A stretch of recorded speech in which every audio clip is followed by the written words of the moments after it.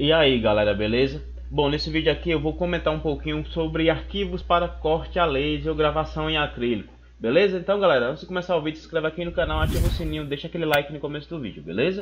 Então bora lá Bom, para fazer esse arquivo galera, é bem simples Eu abro aqui no Corel e vou fazendo o contorno do, do desenho Pegando o máximo possível de traços Mas você percebe que as linhas estão com pontas arredondadas, exatamente, para que a máquina, quando ela for fazer a gravação a laser, ela não é, trabalhe muito, ela não force muito. Então, sempre bom você fazer aí os traços com cantos arredondados. Eu postei esse, uma imagem preparada já para o corte a laser no grupo do Facebook e muita gente estava perguntando como era que fazia, mandando fazer um tutorial.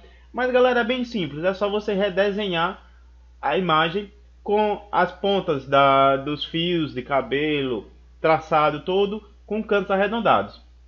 Nesse, nesse vídeo, galera, aqui, eu passei em média meia hora para fazer o traçado dessa imagem, beleza?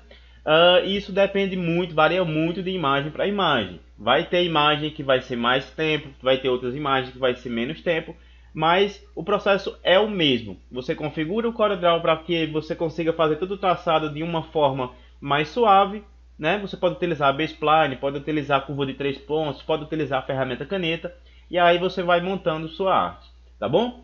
E outra coisa também, muita gente me pergunta se eu vendo esses arquivos. Vendo, galera, isso aqui foi uma encomenda de um cliente que eu fiz, que foi de um casal de noivos, se não me engano, e desse pai com a filha dele aí no, no ombro, né?